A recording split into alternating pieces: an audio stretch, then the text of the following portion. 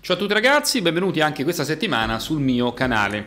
Per l'ultimo giorno dell'anno ho deciso di proporvi un nuovo format che se poi avrà successo avrà un seguito. Il format si chiama Quadri elettrici da incubo. Io vi ho preparato una porzione dell'impianto elettrico formata dal collegamento tra contatore e un piccolo quadro elettrico eh, commettendo gli errori più grossolani che potete trovare nei peggiori quadri elettrici che al momento sono installati in Italia vado a stringere con l'inquadratura in modo che possiate guardarlo più nel dettaglio.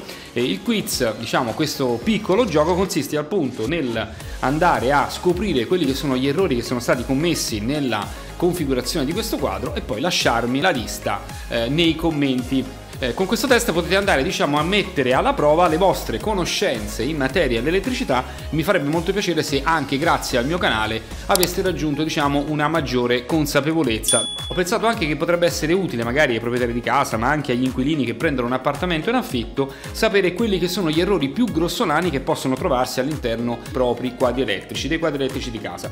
Magari facendo un confronto con varie simulazioni e varie ipotesi, uno potrebbe avere magari davvero la voglia di chiamare chiamare l'elettricista per far mettere tutto a posto. Prima che mi dimentichi, volevo dirvi che ho attivato la vetrina di Amazon per il canale YouTube, eh, dove potete trovare con un colpo d'occhio tutti i prodotti, materiali e gli strumenti che ho utilizzato durante questi due anni. Trovate il link in descrizione. Ora vi stringo l'inquadratura in modo che possiate vedere più nel dettaglio ogni singolo particolare del quadro e cimentarvi in questo piccolo gioco contatore vicino al quadro elettrico con un montante di non più di 20-30 cm di lunghezza.